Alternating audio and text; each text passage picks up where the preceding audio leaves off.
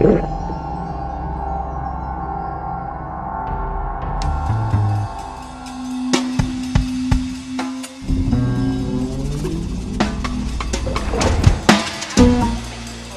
uns dieses Zigarettenetui geschickt hat.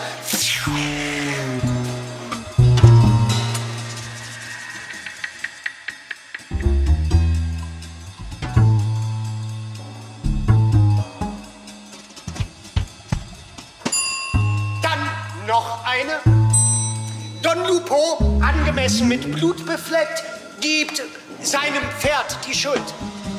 Es will mir nur aus dem Kopf gehen, dass keiner von uns auch nur den Versuch gemacht hat, gestern Abend diesen Raum zu verlassen und wir stattdessen alle hier geschlafen haben unter Missachtung der grundlegendsten Etikette. Ich fand das Ganze höchst originell.